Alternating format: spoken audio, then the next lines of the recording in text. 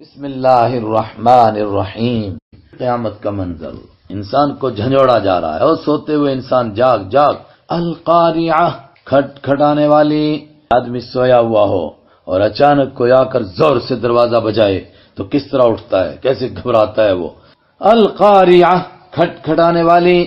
ملقاریہ کیا ہے وہ کھڑکھڑانے والی؟ یہ دنیا کے ظاہری طور پر کھڑکھڑانے والی، اس سے تو ڈرتا ہے۔ یہ نہیں وہ جو سب کو جگائے گی۔ وما ادراکا اور تجھے کیا معلوم؟ مل کیا ہے وہ کھڑکھڑانے والی؟ وہ قیامت کا جھٹکا ہے، وہ سور کی پھونک ہے۔ کس طرح وہ انسانوں کو جگائے گی؟ یوما جس دن یکون ہو جائیں گے الناس۔ سارے لوگ کل فراش المبسوس، بکھرے ہوئے پروانوں کی طرح۔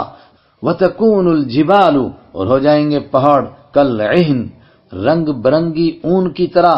المنفوش، جو دھنی ہوئی ہے، جب اس کو دھن دیا گیا، الگ الگ کر دیا گیا، اور پھر رنگ برنگی بھی، اس طرح کوئی نیلا، کوئی پیلا، کوئی لال، اور کوئی بالکل کالا، اس طرح کے جب پہاڑ ٹکڑے بن کر کے اڑنے لگے، تو ان کے الگ الگ رنگ ایسے نظر آتے ہیں، جیسے روئی کے رنگ رنگ کے گالے اڑ رہے ہیں۔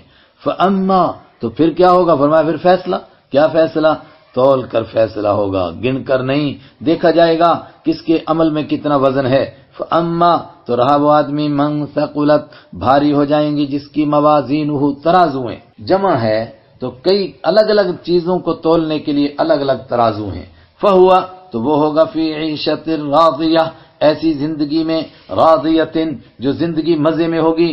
زندگی مزے میں نہیں ہوتی، اشارہ ہے، اتنے مزے میں ہے کہ گویا زندگی کو بھی مزہ آ رہا ہے۔ وہ اما اور رہا وہ شخص، من خفت، ہلکی ہو گئی موازین ہو جس کی ترازو یعنی ترازو کے پلڑے فم ہاویہ تو اس کی ماں ہوگی ہاویہ ماں سے مراد ٹھکانا اس کا ٹھکانا ہاویہ ہے، اور ہاویہ کے لفظی معنی تو گہرا گڑھا گہرا کنواں، یہاں کیا مراد ہے ہاویہ سے؟ وما ادراک ما ہی اور تجھے کیا معلوم کہ وہ ہاویہ کیا ہے؟